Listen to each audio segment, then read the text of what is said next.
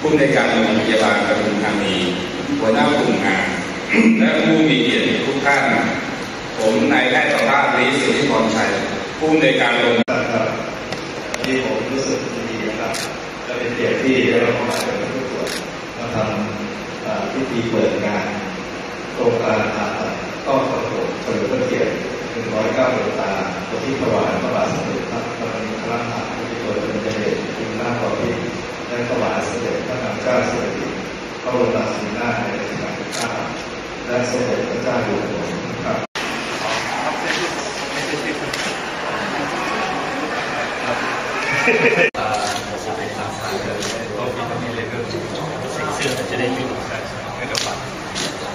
บ้านนะครับ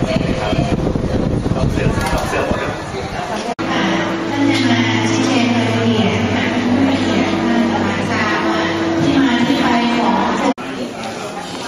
เพิ่มคุณภาพชีวิตดีเลยนะ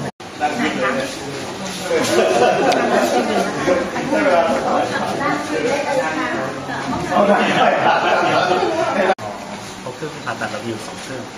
แต่นี่เอามาทั้งหมดหกห้าเครื่องห้าเอ้ยหมอเขาคิดว่าผ่าห้าห้างแปดเจ็ดคน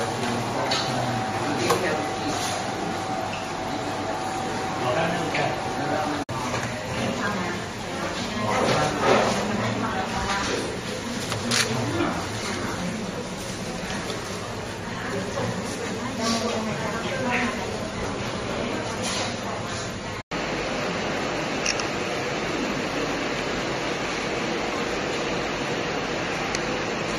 บริหารโรงพยาบาลคือชุดสูตรสี